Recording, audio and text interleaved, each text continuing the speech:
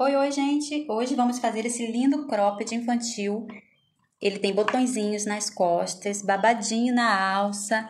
Muito simples de fazer o passo a passo. Eu fiz combinando com o shortinho que eu já fiz o vídeo aqui. Já tá no canal, tá bom? É o vídeo anterior. Vou deixar o link para vocês aqui na descrição de como fazer o shortinho, a modelagem e a costura.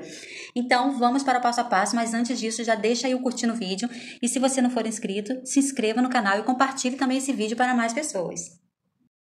Então, para começar, vou pegar um molde base que eu já tenho pronto aqui e vou copiar frente e costas para outro papel. Para quem não sabe fazer molde base, já tem vídeo aqui no canal ensinando como fazer, tá bom?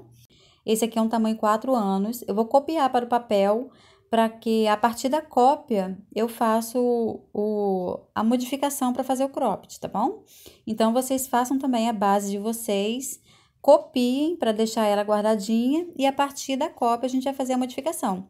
O nome já diz, é um molde base. A gente vai poder usar ele para fazer vestido, para fazer blusinha, para fazer cropped, batinha.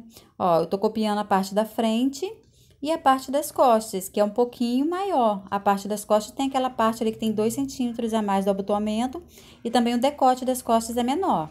Agora é só recortar.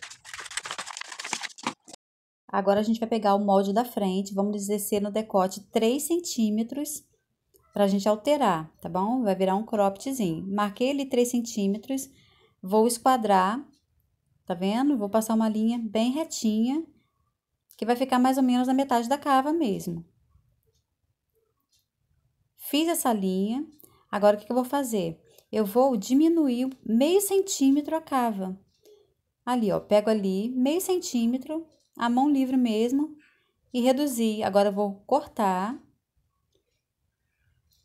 Vou pegar esse molde da frente, vou colocar em cima do molde das costas. O decote das costas aqui no caso, ó, eu igualo ali o final da cava, tá vendo? A lateral do molde e o final da cava. Marco aqueles meio centímetros que eu tirei, marco a linha que eu marquei ali, olha, de cima. Pronto, agora é só recortar frente e costas já estão prontos para fazer o nosso cropped. Tá faltando o quê? Tá faltando agora a gente fazer as alças. Daquela parte que eu cortei, veja bem, a parte de frente ali. Eu vou pegar aquela parte de cima, vou medir, tá vendo? Quanto que a gente recortou. Ó, aquela parte de cima ficou com 7 centímetros. Só que tem que ser o dobro para fazer cada alça, né? Então, 7 vezes 2 vai dar 14, mais 2 centímetros que eu vou deixar de margem de costura, para a gente poder costurar no cropped. Então, vai ser 16 centímetros de comprimento e eu vou fazer com a minha alça com 4 centímetros. Eu vou cortar com 16 por 10, tá bom? Duas faixas com 16 por 10 para fazer as alças. Prontinho, os dois moldes, dá uma conferida para ver se tá batendo certinho, olha. Certinho, essa parte que sobrou nas costas é do abotoamento mesmo, normal. Aí eu vou colocar ali, ó, dobra do tecido. A gente vai cortar cada molde duas vezes com o tecido dobrado, tá bom? Então, coloque ali duas vezes com o tecido dobrado. E outra coisa, o molde que eu fiz é sem margem de costura. Eu coloco a margem agora no tecido, olha. Dobrei o tecido, aí eu vou arrumar direitinho, tá? O tecido tem que estar tá bem alinhado. Eu vou marcar um centímetro em toda a volta do molde para fazer a margem de costura. Mas lá embaixo, aonde eu vou fazer a barrinha, eu vou cortar com um centímetro e meio. Então, façam isso na frente, nas costas e cortem duas vezes, frente e costas duas vezes. É bom também, antes de cortar, vocês alfinetarem o tecido para ele não escorregar, não andar. Então, ficam assim, ó, duas partes da frente e duas das costas, só que as costas a gente vai ter que abrir ao meio. As costas tem que ficar quatro partes, tá bom? Vai ter aquela abertura nas costas do botão, lembra? Então, vocês dobram direitinho ali, marquem certinho o centro e abra, tá bom? Pode abrir as duas partes juntas. Para fazer a alça, tá ali, ó, duas faixinhas com 16 por 10 e eu vou colocar um babadinho na alça. Esse babadinho eu cortei o dobro da alcinha. Cada babado vai ter o dobro, porque a gente vai franzir, então tem que ter mais ou menos o dobro. Se quiser pôr menos, um pouquinho ou mais, é opcional. Agora, o babadinho, olha, eu vou cortar, vou dobrar os dois assim, e eu vou fazer uma curva ali. Tá vendo? Agora, a gente vai fazer uma barrinha nessa parte curva. Você vai dobrar uma vez, vai passar uma costurinha, depois vai dobrar mais uma vez e passar outra costurinha. Assim é mais fácil fazer a barrinha em curva, tá bom? Primeiro você dobra uma vez, passe uma costura, depois dobra a segunda vez e passe outra costura. É mais fácil assim, é, para quem já costura aí sabe que costurar em curva é mais difícil. Dá até para fazer, mas dá mais trabalho. Então, faça isso. Dobre uma vez, depois dobra a segunda vez. Prontinho, agora a gente vai passar nessa parte reta uma costura com ponto mais largo da máquina para franzir. Olha, ali eu já passei. Agora é só puxar um dos fios para poder a gente franzir, ou de cima ou de baixo. Tem gente que acha melhor puxar o da canelinha, a, a linha da bobina, né? Então, você vai franzir esse babadinho de forma que encaixe ali no tamanho da alça. Só que vou lembrar vocês que tem que sobrar um centímetro, olha, em cada alça, para a gente poder encaixar a alça no cropped. Ó, bota ali direito com direito do tecido. Agora, eu vou deixar ali, ó, um centímetrozinho sobrando em cada ponta. E eu vou costurar o babadinho ali. Simples assim, Agora, você vai fechar aqui a alça, ó, o babadinho já tá costurado. A gente vai juntar aqui, ó, fechar, tá vendo? Vamos passar uma costurinha aqui. Só que tem que ter o cuidado, na hora que estiver passando na máquina, não pegar aqui na alcinha, tá vendo? No babadinho.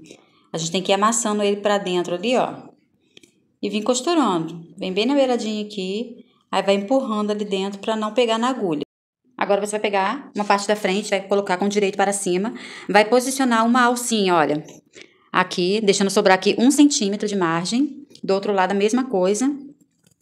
Olha, a posição da alcinha é o babadinho para fora, só que tem que tomar cuidado que tem que estar, ó, direito com o direito do tecido, tá bom? Ó, o direito do babadinho com o direito. Aqui vai ficar o lado avesso, porque depois a gente vai virar ao contrário, tá bom?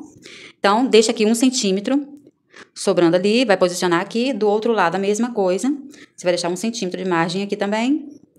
E vai posicionar babadinho para fora. Aí você vai pegar a outra parte da frente, tá vendo? E vai colocar por cima aqui, de forma que fique, ó, direito também do, do forro com o direito do tecido ali. Aí você vai alfinetar, alfineta aqui onde está a alça primeiro. Do outro lado a mesma coisa, arruma direitinho, tá bom? Alfineta e você vai passar uma costura fechando a cava Ó, na hora de fechar a cava aqui, empurra o babadinho para dentro para não pegar na agulha, tá bom? Então, você vai fechar uma costura aqui de um centímetro na cava, aqui em cima e na outra cava. Aonde tem as alcinhas, pode dar uma costura mais reforçada, fazer um vai e vem. Agora, você vai fazer aqui, nessa curvinha aqui, olha, alguns piques, tá? Com cuidado para não pegar na linha. Do outro lado também. Aonde tem curva, antes de desvirar pro lado direito, a gente tem que fazer esses piques para não embolar o tecido. Vou cortar aqui essa pontinha aqui, olha, para não ficar marcando lá do lado direito e pode desvirar. Pode virar para o lado direito. Olha, essa aqui é a frente do nosso croppedzinho. Agora, a gente vai montar as costas aqui. Agora, você vai posicionar, olha, uma parte das costas aqui, embaixo da alça, com direito para cima. Cuidado quando for colocar as costas, olha, porque é muito parecido esse formato com esse aqui. Cuidado para não confundir e colocar ele assim, tá? Você tem que ver direitinho qual é a posição. Quando for cortar, faça uma, um desenho, assim, ó, de uma setinha para poder vocês saberem, tá? Ó, essa parte aqui para cima, assim, para não confundir, tá? Porque fica muito parecido. Então, coloque aqui a estampa para cima, vai posicionar a alcinha aqui, olha, deixando aquele um centímetro de sobra ali. Vai pegar a outra parte das costas, tá? Que vai encaixar ali com o direito daquele tecido, vai ficar direito com direito, assim, certo? Coloque aqui um alfinete para segurar onde está a alça. Agora, você faça a mesma coisa aqui do outro lado. Estampa para cima. Estampa para cima. Posicione aqui, deixando um centímetro. Peraí, deixa eu acertar aqui. Ó, um centímetro. Agora, você vai pegar a outra parte, coloca aqui por cima. Coloque um alfinete para segurar a alça no lugar, com cuidado para não sair, tá? Para ela não andar. Fechar nas cavas, tá bom? Aqui, olha. Cuidado para não pegar no babadinho, para não prender. Você vai fechar aqui em cima no decote. E aqui nas cavas, não feche as laterais, tá? Olha, a lateral da frente também ficou aberta. Não feche nas laterais ainda. Agora, é só virar. Faz os piquezinhos na curva e vira pro lado direito. para fechar aqui nas laterais, que estão abertas, ó, frente, aqui costa. Vai pegar aqui, ó, costura de um lado, tá vendo aqui? Debaixo da cava. A outra costura aqui, ó. Vai juntar frente com costa, dessa forma aqui, ó. Tira o babadinho pra lá. Junta aqui, frente e costa, junta costura com costura. Põe um alfinetinho pra costura não sair do lugar. As costuras tem que bater certinho, tá bom? Não pode sair do lugar. Aí você vai fechar aqui por dentro, ó. Essa parte aqui de dentro aqui, você vai passar uma costurinha de um centímetro. Mesma coisa você vai fazer aqui do outro lado, ó. Tá aqui a lateral da frente e lateral das costas. Você vai juntar aqui os dois, olha. Debaixo aqui do, da axila, né, da cava. Juntou as duas costurinhas, bateu ali certinho. Põe um alfinetinho pra não sair do lugar. Aí você vai abrir, olha, juntando as duas partes aqui, ó. Pelo lado de dentro, você vai costurar uma costurinha de um centímetro, que foi a margem que a gente deixou. Então, aqui, o cropped já tá fechado nas laterais. Agora, a gente vem aqui, ó, na parte das costas, onde tem aquela aberturinha que a gente vai botar o botãozinho. Você a gente deixou dois centímetros de margem, né? Você vai dobrar esses dois centímetros para dentro. Tá vendo aqui na costura de cima, ó? Nessa parte aqui de cima, a gente pega, olha, deixa eu mostrar vocês aqui. Dobra dois centímetros para dentro, depois vire assim, dobra ao contrário. Aí vai fechando aqui nas costas, olha. Vai arrumar direitinho, tá? Depois que a gente pôr na máquina, dá o primeiro pontinho aqui, a gente vem ajeitando o restante, tá bom? Você vai fechar aqui, bem na beiradinha, juntando, tá? Essas duas partes. Mesma coisa que do outro lado, olha. Jogou pra dentro, dois centímetros e jogou assim. Aí vem na máquina arrumando e costurando. Agora, a gente vai pegar, abre, vamos fazer duas dobrinhas para fechar aqui, ó. A parte de baixo que tá aberto o forro, com o tecido principal, né? E para fazer logo a barrinha. Dobram uma dobrinha com meio centímetro e outra dobrinha com um centímetro. Aí faz uma costura aqui embaixo, tá bom? Fazendo a barrinha e depois vamos pregar os botõezinhos. Então aqui já tá quase pronto, eu vou colocar os botõezinhos tic-tac, olha, desse modelinho aqui. Aí pra colocar cada botãozinho, eu vou colocar três. Um, dois e três. É, é um kitzinho assim, ó, vem um com um pininho e o com uma bolinha pequena. Aí eu vou colocar outro de um pininho do outro lado e o outro é parecido essa bolinha aqui, só que a bolinha é um pouquinho maior. Então esses quatro, essas quatro pecinhas equivale a um botãozinho. Ó, vai ser assim, olha, aqui desse lado, eu já fiz o furinho, tá? Vem esse alicate aqui veio com o furador. Eu enfuro aqui, olha, para poder colocar a pecinha. Aí essa pecinha que tem é, esse pininho, eu vou colocar esse que vai ficar do lado de fora, tá? Daqui para lá. Dessa forma. Aí vai sair aqui, ó. O pininho sai do outro lado do buraquinho. Eu vou colocar o que tem a bolinha maior aqui na parte de cima. Esse aqui. Tá vendo? Coloco aqui, eu dou uma pressãozinha. Ele não vai ficar preso. Ele tá só aqui seguro porque eu apertei um pouquinho. Mas ele vai ficar preso depois que amassar aquele pininho ali dentro. Aí eu venho com o alicate de pressão. Opa, soltou aqui. Deixa eu pegar aqui. Coloco aqui. Aí eu venho com o alicate, ó, e pressiono aqui. Eu coloco essa parte aqui em cima, olha. Tá vendo? Ó, aproximar pra você ver. Aí coloca aqui, vai encaixar aqui embaixo, ó. O botãozinho vai ficar preso ali dentro. E eu amasso. Eu dou uma apertadinha assim, ó. Não precisa fazer muita força, tá? O próprio alicate já amassa. Ali amassou. Então, ficou fixo esse botãozinho aqui. Agora, pra prender ele, eu tenho que colocar a outra parte aqui. Então, o que eu vou fazer? Eu pego a outra pecinha que tem um pininho, coloco agora, ó, daqui de dentro pra fora. Não é daqui pra lá, senão não vai dar certo aqui, ó. Eu tenho que colocar de lá, do lado avesso, né? No buraquinho que eu já fiz, tá bom? Fiz o buraquinho, ó, na mesma direção que ficou o buraquinho daqui, eu fiz aqui embaixo. Aí eu enfio ali e eu vou colocar a outra pecinha. Como aqui eu coloquei a pecinha que tem a bolinha maior, agora tem que colocar do outro lado que tem a pecinha, a bolinha menor. Ó, tem diferença no tamanho dessas bolinhas aqui. Uma é maior, outra é menor. Porque senão não encaixa, né?